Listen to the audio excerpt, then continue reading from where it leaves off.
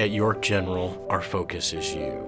That means that our primary focus is on those patients, the residents, our families that we serve. We're here for their needs, both now and in the future.